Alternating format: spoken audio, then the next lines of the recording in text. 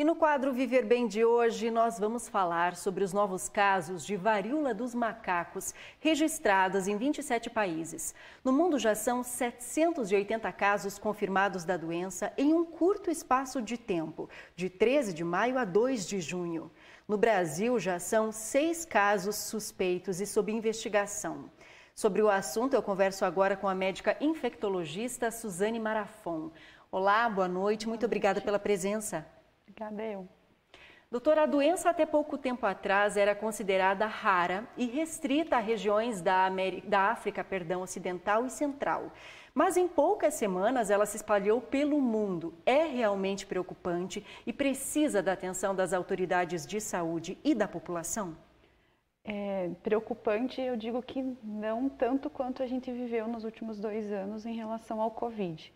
Mas sim é preocupante porque a gente está vendo casos em, em, muitos países no mundo e, e, está avançando o que não acontecia antes com a varíola dos macacos. Né? A gente sabe que era, a transmissão era maior de macaco para macaco.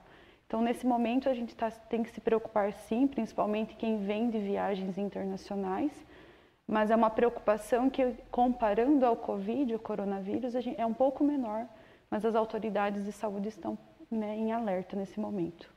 O que causa a varíola dos macacos? É mais um vírus, né, doutora? É um vírus bem parecido com o vírus da varíola humana que a gente tem, né, foi erradicado em 1980.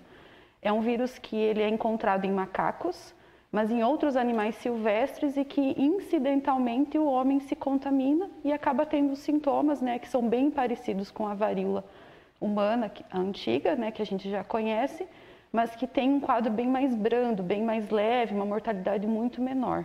Uhum. O que causa né, a varíola dos macacos, é, doutora? Assim, a gente pode explicar, a gente se falou sobre um vírus, né? Isso. E no corpo, como que ela se manifesta para as pessoas compreenderem melhor o que é a varíola dos macacos? É, os sintomas são sintomas como tem, o paciente pode ter febre, dor no corpo, pode aparecer os linfonodos, que são as línguas que a gente conhece, e algumas lesões de pele que são bem parecidas com outras doenças como a catapora, né? As lesões de pele geralmente elas são umas manchas que elas vão evoluindo para umas bolinhas com água, depois pode ter pus dentro e aí depois elas viram casquinhas grossas e caem. Então é uma doença que é com sintomas mais inespecíficos e é uma lesão de pele que é parecida com outras doenças que a gente já conhece.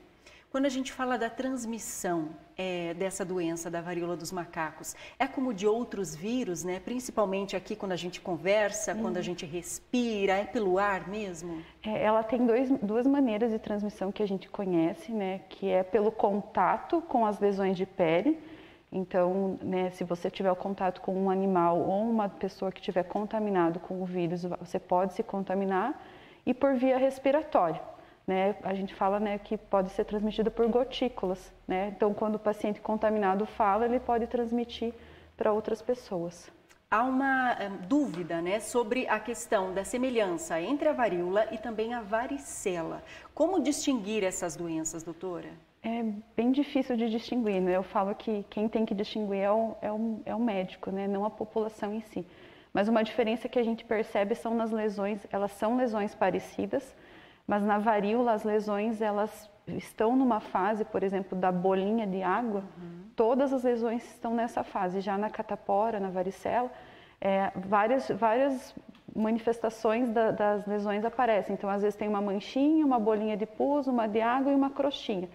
Então são as fases, né, que na varíola ela vai estar toda numa fase só, todas as lesões iguais. Essa é uma diferença. Eu vou pedir uma explicação para você. A gente tem lido algumas coisas circulando, na verdade, na internet, algumas notícias também, sobre uma vacinação que se acontecia até 1970, que quem estivesse vacinado é, não é, estaria com menos propensão a contrair a varíola dos macacos. É real? Que vacina era essa?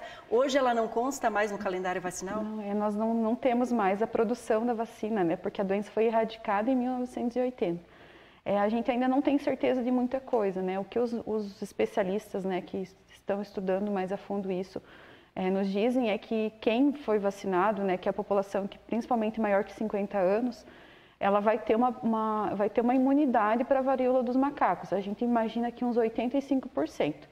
Então, assim, nesse momento estão sendo né, produzidas, né, testando novas vacinas, talvez né, vai ser usada a mesma base da vacina da varíola antiga, para a gente pensar numa, numa vacinação a posterior.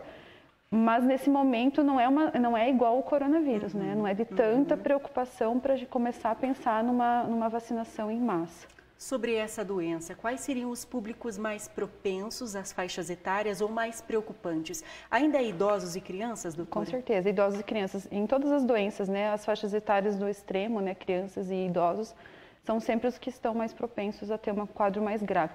Mas essa versão da varíola dos macacos, ela é uma versão que não está trazendo mortalidade. Então, ela é bem menos grave do que a varíola que a gente conhecia antes. É mais branda. Mais branda, com certeza. Quando a gente fala agora, para encerrar nossa entrevista, sobre as formas de prevenção à varíola, quais são elas? A gente vem de uma pandemia de coronavírus, então as pessoas já estão um pouco mais adaptadas a medidas de prevenção, já não é novo para nós. Hoje, quando se fala em varíola de macacos, é, quais as formas de prevenção? Então, baseado no modo modo de transmissão, né, contato e através né, de gotículas respiratórias, né, como que a gente se previne através né, do uso de álcool, higiene de mãos e uso de máscara. E também quem for viajar para outros países, né, evitar de comer anima, é, né, caça, né, animais silvestres, né, que em alguns países é bem comum, e também ter contato né, com animais doentes ou pessoas doentes. É a única forma de, de, prevenção nesse momento. Esse contato tão rápido, doutora, sem dúvida é um resultado da globalização, né? essa com, propagação tão rápida com do certeza, vírus. Né? Hoje a gente está num país, em poucas horas a gente já atravessou, né, foi para outro país. Então a globalização trouxe, infelizmente, trouxe também essas, essas doenças para a gente, né, muito mais comum. Sobre a varíola dos macacos, a entrevistada de hoje foi a médica infectologista Suzane Marafon. Doutora, mais uma vez, muito obrigada pelos esclarecimentos e pela presença aqui no muito jornal. Obrigada. Obrigada.